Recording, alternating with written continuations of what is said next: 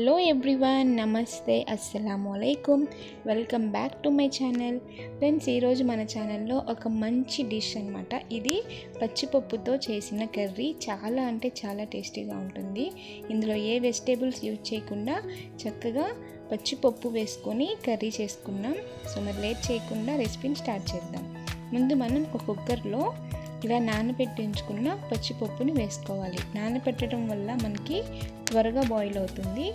నానబెట్టుకునే time లేకపోతే అలా డైరెక్ట్గానే వేసుకొని అవి బాగా ఉడికేంత వరకు ఉడికించుకోవాలి. మనం ఇలా వేళ్ళతో ప్రెస్ చేస్తే అవి మెత్తపడేంత వరకు వీటిని ఉడికించి పక్కన పెట్టుకో. ఇప్పుడు ఒక మందపాటి ప్యాన్లో ఆయిల్ హీట్ చేసుకొని ఇందులో పోపు దినుసులు ఆవాలు జీలకర్ర ఎండుమిర్చి కరివేపాకు వేసి ఫ్రై చేసుకొని ఇందులో కొంచెం ఇంగువ కూడా వేసుకొని ఇందులోనే లవంగాలు నల్ల యాలకులు దాల్చిన చెక్క అలాగే పచ్చిమిరపకాయలు వీటన్నిటిని వేసుకొని ఫ్రై చేసుకోవాలి అవి ఫ్రై అయ్యాక ఇందులో ఉల్లిపాయలను కూడా వేసుకొని ఫ్రై చేసుకోండి. ఉల్లిపాయల్ని సన్నగా కట్ చేసుకోండి లేకపోతే పేస్ట్ అయినా చేసుకోవచ్చు. ఇలా వేసుకొని చక్కగా వీటిని ఫ్రై చేసుకోవాలి. ఉల్లిపాయలు మనకి లైట్గా కలర్ చేంజ్ అయ్యేంత వరకు వీటిని ఫ్రై చేసుకున్నాక ఇందులో ఒక స్పూన్ అల్లం వెల్లుల్లి పేస్ట్ కూడా వేసుకొని వీటిని కూడా ఫ్రై చేసుకోవాలి. ఇప్పుడు ఇందులో మనం టొమాటో పేస్ట్ కానీ సన్నగా కట్ చేసుకున్న టొమాటో ముక్కల్ని కానీ వేసుకొని వీటిని కూడా చక్కగా ఫ్రై చేసుకోవాలి.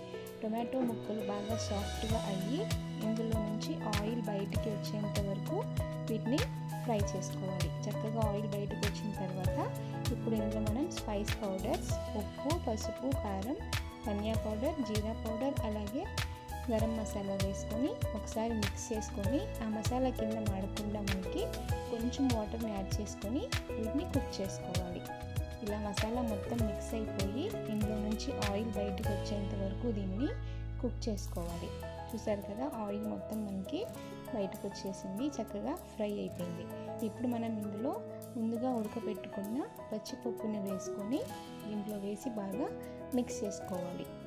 ఇలా పచ్చిపప్పు చక్కగా ఒక ఫైవ్ మినిట్స్ వరకు దీంట్లో కుక్ చేసుకోండి. ఆ మసాలా పౌడర్స్ వేసుకున్న ఫ్లేవర్ అంతా ఈ పచ్చిపప్పుకి పట్టేంత వరకు దీన్ని ఒకసారి బాగా ఫ్రై చేసుకున్న తర్వాత ఇప్పుడు మన కన్సిస్టెన్సీకి తగినట్లు ఇందులో మనం వాటర్ని యాడ్ చేసుకోవాలి. ఒక హాఫ్ గ్లాస్ వరకు ఇలా వాటర్ని యాడ్ చేసుకొని దీన్ని ఈ కర్రీ మొత్తాన్ని ఒక ఫైవ్ మినిట్స్ వరకు కుక్ చేసుకోండి.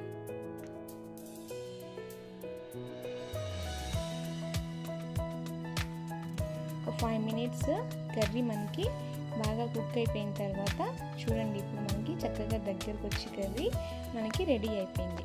ఇప్పుడు మనం స్టవ్ ఆఫ్ చేసేసుకొని ఈ కర్రీని సర్వింగ్ ప్లేట్లో తీసుకొని సర్వ్ చేసుకోండి. అంతే అండి. ఏ వెజిటేబుల్స్ కూడా లేనప్పుడు ఇలా ఇంట్లో ఉండే పచ్చిపప్పుతో చాలా ఈజీగా కర్రీని చేసుకోవచ్చు. ఇది రైస్లోకి అలాగే చపాతీస్లోకి చాలా అంటే చాలా బాగుంటుంది. సో తప్పకుండా ఈ రెసిపీని ట్రై చేయండి. అండ్ మన వీడియో నచ్చితే కనుక లైక్ చేయండి సబ్స్క్రైబ్ కూడా చేసుకోండి. Thanks for watching friends. Thank you.